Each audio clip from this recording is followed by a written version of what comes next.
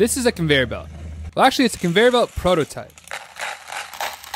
Built from 3D printed and laser cut parts, its purpose is to test my design concept before scaling up to a much larger version. The reason I built this is because I'm working on a new kinetic sculpture. We'll talk more about this in the future. And I've decided to break down the design into three distinct parts, the first being the conveyor belt. This way I can learn my lessons and make my mistakes before fully committing to building the entire design. The conveyor belt works. It actually conveys things, which is great, but it does need a lot of work.